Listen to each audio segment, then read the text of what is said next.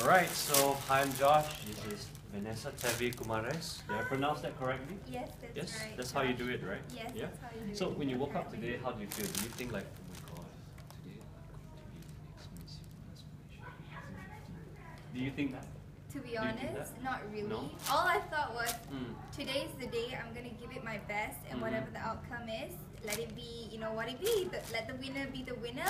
But um, What, here like I the, am. The William Hung thing. I tried my best. And it's Yeah, yeah, no, but it's true. But come on, you you won. I know, How, how I do you, How, how do you feel? How do you feel? What, what, what are you gonna do tomorrow? What are you gonna do tonight? Are you gonna party or you just gonna sleep? You wanna know the truth? Yeah. I'm gonna eat nasi lemak. Yes. all right. Yes, you can finally eat. Yes, right? I Well, I, saw the pageant preparation and all that. You know, you all had your bikini bodies and your what? I can see no salt, no carbs, no what? Yes. Torture, right? Yes, torture. Yeah, that's why. But so that's she, she's going to year. eat nasi lemak, people. Nasi lemak. That's the first thing she's going to do after winning the pageant. How Malaysian is that? Come on, yeah? Okay, do you have anything else to say to um, the people of Malaysia?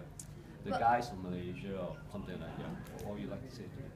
Um, well, I'm very new at this, so I hope you guys give me a chance to prove myself and learn, learn, learn. And I hope you guys keep supporting me till I reach the world stage next year. Yeah. Thank you. And make sure you find her page, uh, Vanessa Tevi Kumares. Make sure you like her page, alright? Yeah. Okay, yeah, yeah. Josh Lim from Likes Before Love signing out. Bye.